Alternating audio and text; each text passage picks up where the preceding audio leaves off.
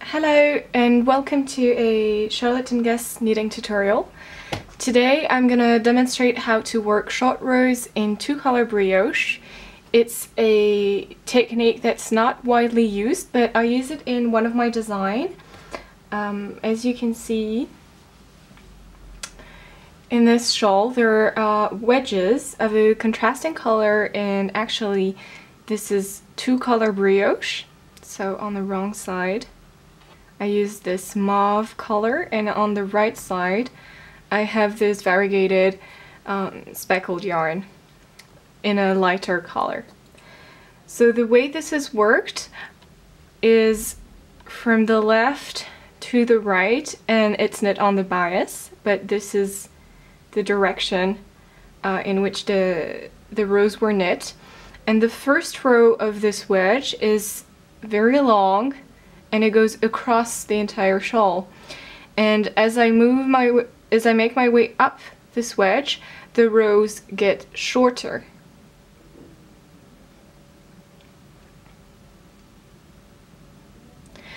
This shawl is symmetrical, so on the other side, I am still knitting from left to right. This time, the first row is short and then as I make my way across the wedge, they get longer so that this last row here goes across the entire shawl. I've prepared a swatch of one color brioche.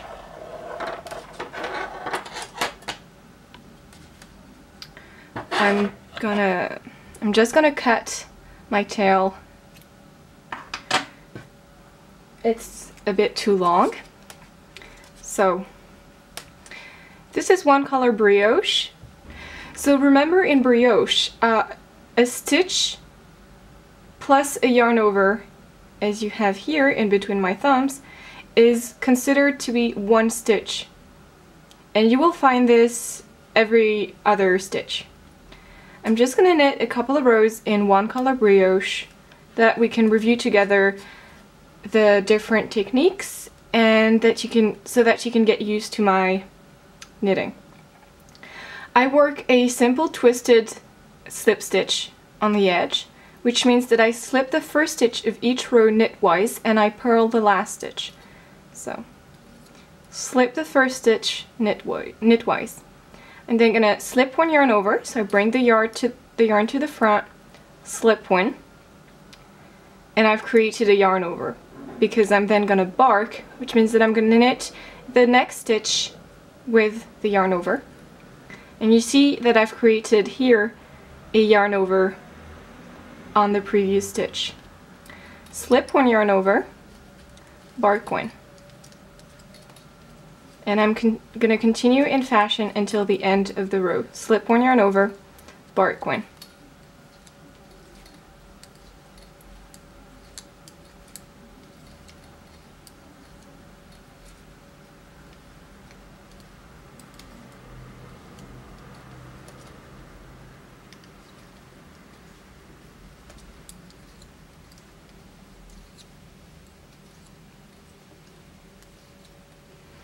For the last stitches, I'm gonna slip one yarn over and this time I'm gonna bring the yarn to the front because I'm gonna purl the last stitch.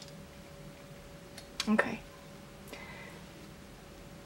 Now on the wrong side, I'm gonna slip the first stitch,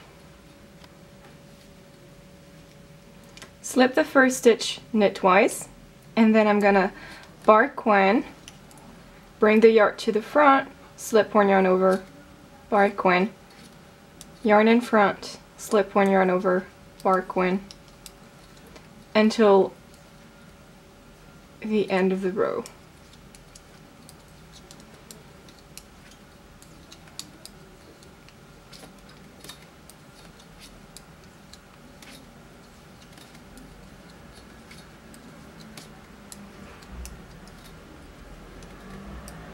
I bring the yarn, the yarn to the front for the last stitch because I'm gonna purl it. So I've worked one, two, three, four, five rows times two. That's 10 because to create one stitch you need to work the row twice. So if I have five stitches, it means I've worked 10 rows. And now it's time to introduce my contrasting color. And it's marled, so it will play the role of the variegated yarn that I showed you on my design. And I'm gonna work the first row. What we're gonna do is, for the first row of the wedge, we're gonna work across the entire row. And we're gonna do the same at the end of the wedge. So that the short rows are encased in two complete rows at the beginning and at the end.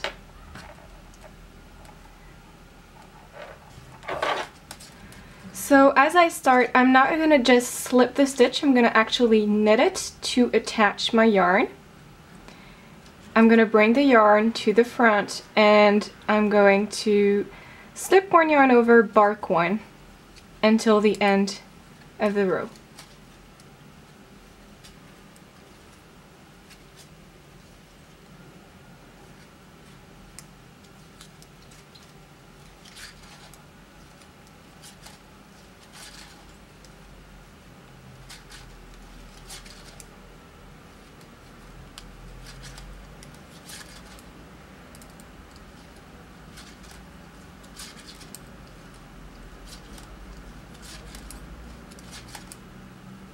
And I purl the last stitch.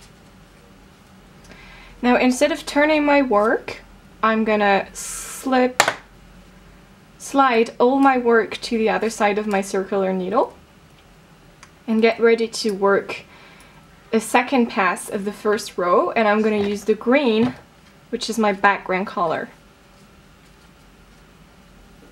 I'm gonna slip the first stitch purlwise. I'm going to bring the green yarn to the front and I'm going to bark one, slip one yarn over, burp one until the end of the row.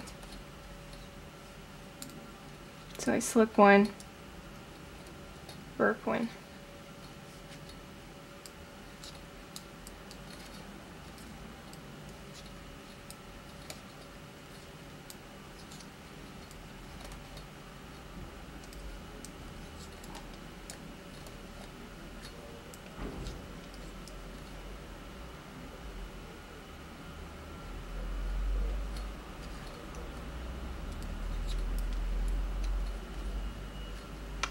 I'm going to slip the last stitch purlwise. I'm going to turn my work, turn my work, and I'm going to pick up the contrasting color again. So this is my light gray. I'm going to slip the first stitch knitwise.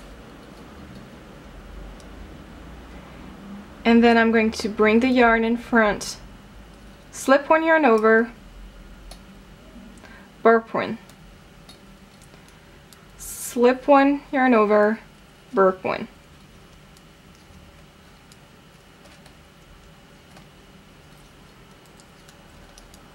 And I'm going to work in fashion until the end of the row.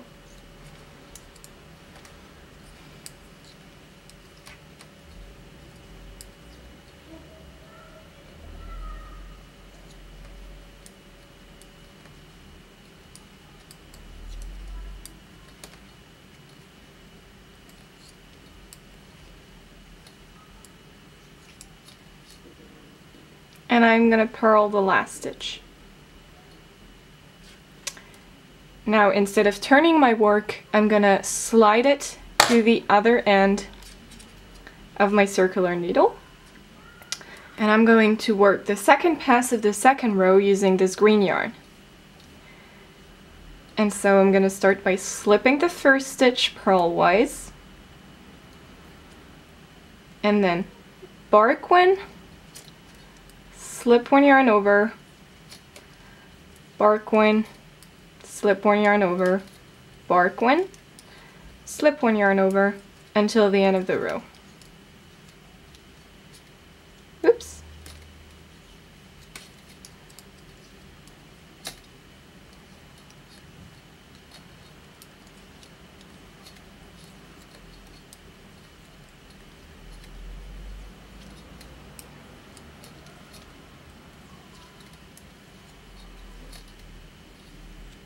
I'm gonna keep my yarn in the back and slip the last stitch purlwise. Okay, I've turned my work and as you can see we've worked two rows and each row had two passes because we're working with two colors. So in total we've made four passes and we've created two stitches. So you can see here, one is fully formed and the other one is still resting on the cable there. And now we're ready to start doing our short rows. The short row technique that I'm going to demonstrate is based on the wrap and turn short row technique. And if we were working regular wrap and turn, this column here is where we would, this would end up um, as the wrapped stitch, this one here. So it is the fifth from the left. Okay, count with me. One, two, three, four, five. It's the fifth stitch from the left. So what we're gonna do is with our contrasting color we're going to work the first pass of the first row. So, oops, slip the first stitch knitwise, slip one yarn over, bark one, and we're going to work this until we reach the fifth stitch from the end of the row. So the instruction would would be until two five stitches before the end of the row. Alright, and so this here is a slip one yarn over. So I'm gonna slip one yarn over. Okay. So we have five stitches left and we're going to bring the yarn to the front. So I've completed my yarn over. I'm going to slip the next stitch and it has a yarn over so I'm going to slip both strands of yarn, both loops. I'm going to bring the yarn to the back so I've wrapped the stitch and I'm not going to complete the wrap. Instead, I'm going to slip the remaining stitches of the needle so that I reach the end of the row and I can slide my work to the other side.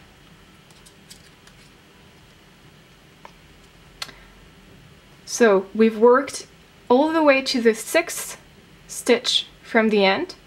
We've half wrapped the fifth and then we've slipped the last four stitches and then we've slid all the stitches to the other end of the needle. So for the second pass we're gonna start by slipping the first stitch purlwise and then with the green color burp one slip one yarn over, burp one, slip one yarn over, oops, I split the stitch, slip one yarn over, burp one,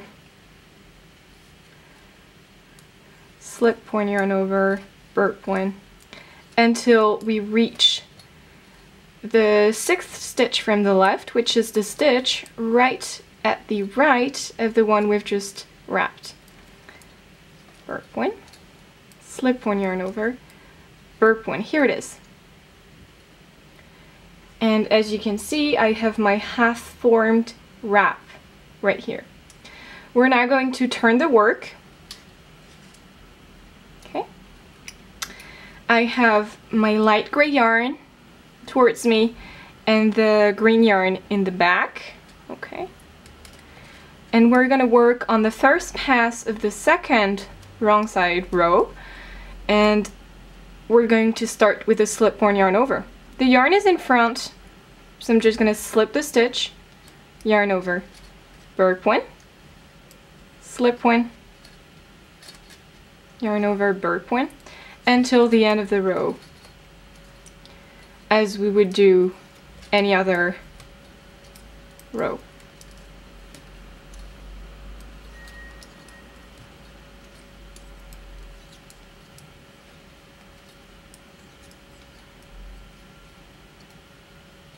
Okay.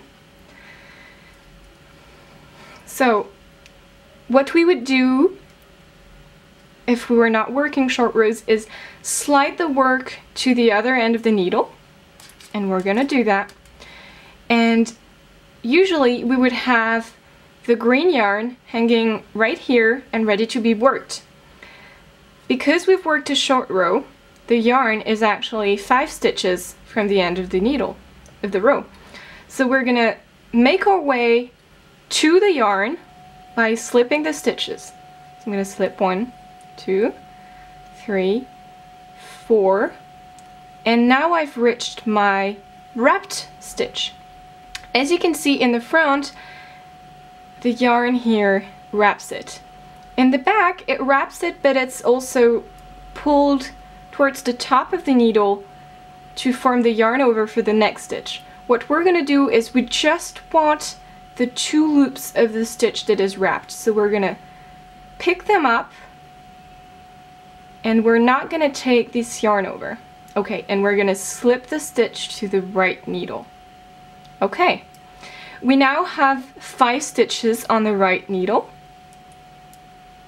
The fifth is wrapped, and we're going to work the rest of the row, started, starting with a bark one.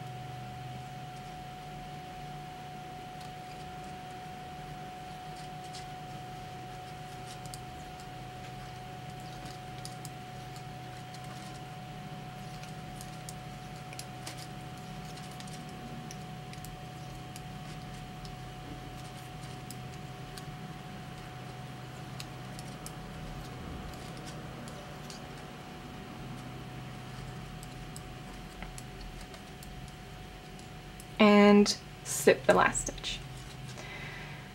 I've turned to work.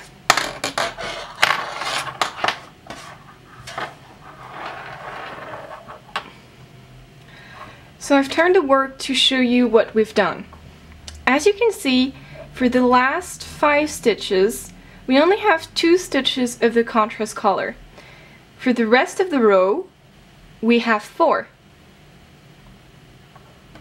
This fifth stitch from the left here is wrapped on the front and on the back and on the back too.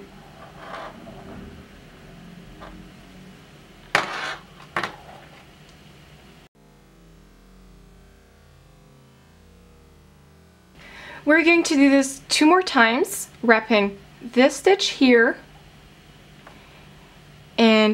this stitch here and then I will show you how to pick up the wraps.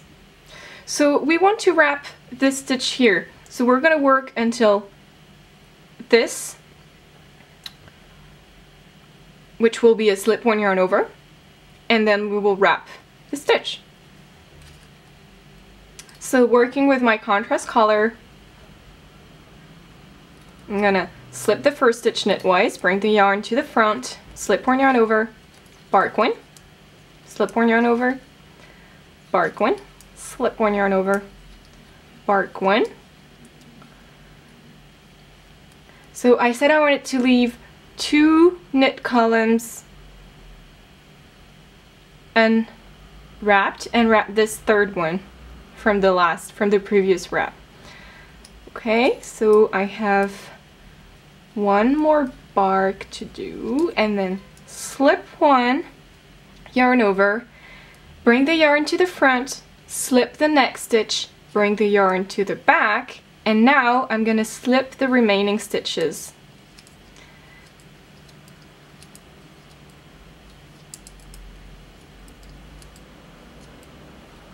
Okay I'm gonna slide the work to the right.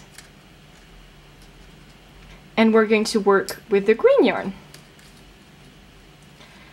Slip the first stitch purlwise and burp one, slip one yarn over, burp one,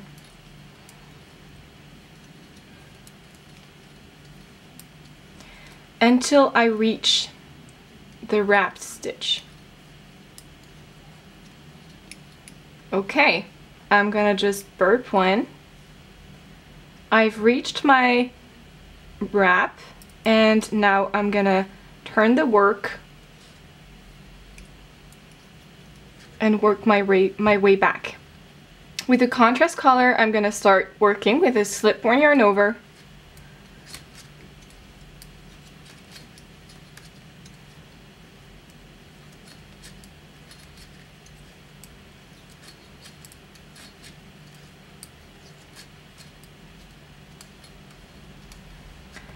I'm going to slide the work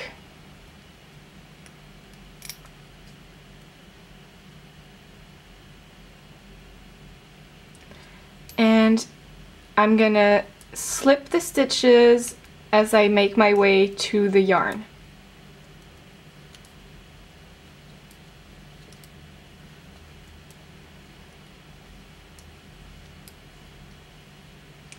When I get to the wrap stitch, I want to make sure to slip the wrap stitch without picking up the wrap.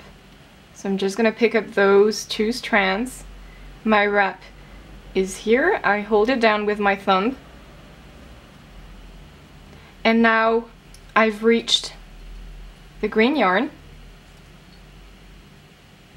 And I can start working, starting with a bark one.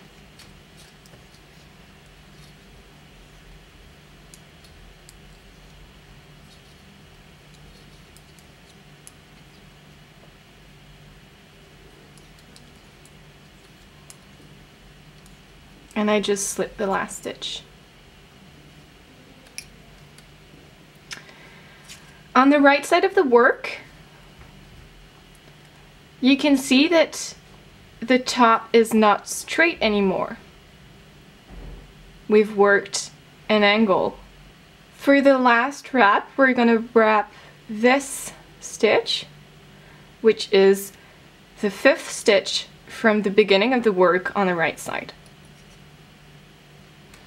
And this will show you what to do when you've reached the right half of your work.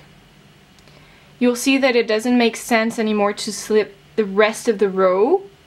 You're going to want to slip backwards.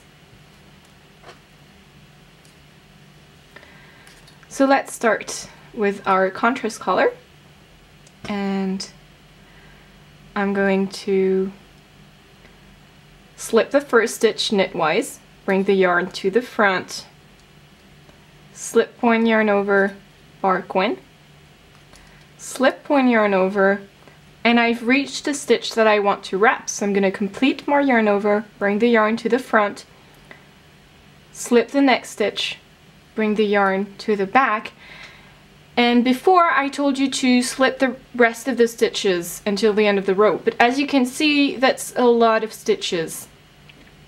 16 to be exact, when I only have five on the right side. So what I'm gonna do is I'm gonna slip the stitches back onto the, the left needle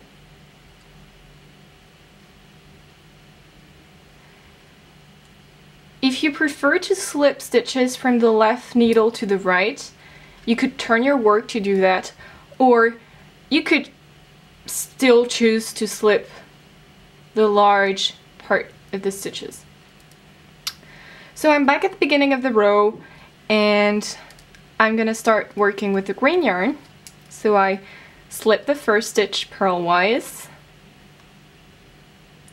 prepare for a burp, slip one yarn over, burp, and I'm at the wrap again. So I'm to turn my work.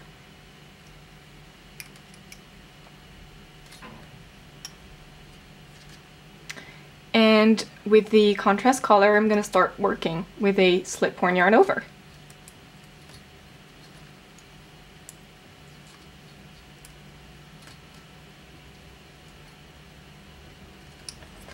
Again, usually I would tell you to slide the work to the right and then work your way to the green yarn. In this case, the green yarn is very close to where I'm at, so I'm gonna stay this way, do not slide the work, but just slip the stitches from the right needle to the left until I reach this mess of a wrap.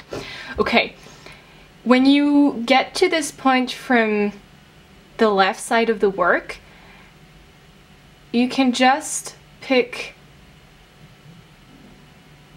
these two loops okay. These two loops. And you'll see that if you just pick these two you actually end up at the correct point. So I'm just gonna pull a little on this green yarn here and start working with a bark.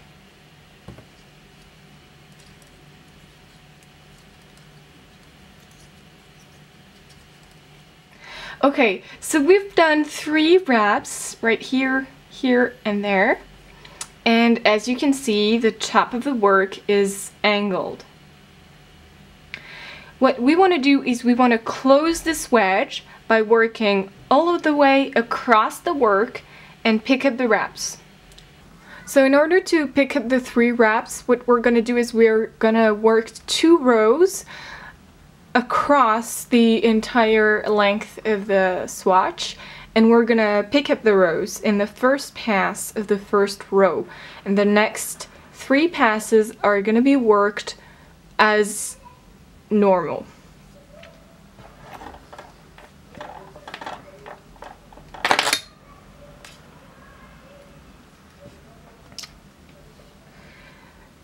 Starting with my contrast color, I'm gonna slip one knitwise, bring the yarn to the front, slip one yarn over, bark one, slip one yarn over, and now I get to the wrap. And what I'm gonna do is I'm gonna go under the wrap to pick it up, and then through the two loops of the stitch so the stitch plus its yarn over and I'm gonna pull I'm gonna bark and pull my knit stitch through all three loops.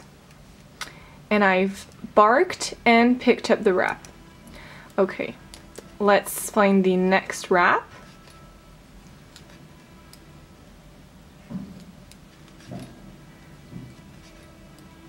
Okay. So the yarn is in front and because I'm basically going to do a bark or knit stitch, um, I don't need to worry too much about this. The yarn over is, is going to complete itself. So I'm going to go under the wrap, pick it up, and then go through both loops of the stitch, wrap the yarn around the needle, and pull it through all three loops. Okay, and the final one.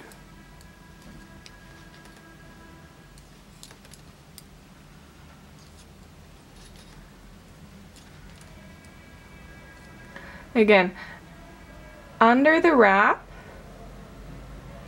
through both loops, wrap the yarn, pull through all three loops. Another way to go around this is to slip the stitch to the right needle, pick up the wrap, put it on top of the needle, and then pull, slip the three loops back to the left needle and bark them together as one. The thing with this technique, it's much clearer, um, but it, it, tends to pull on the stitches a lot, and so you won't get uh, such a nice even result. But if you struggle with the technique that I started by starting started with, um, you can always use this method. Alright, I've gotten to the end of the row and I'm just now gonna work starting from the other side, the second pass of this first row. And this is just now normal two color brioche. I don't have to worry about the wraps anymore. They're all taken care of. I've turned my work and I'm now going to work both passes of the second row.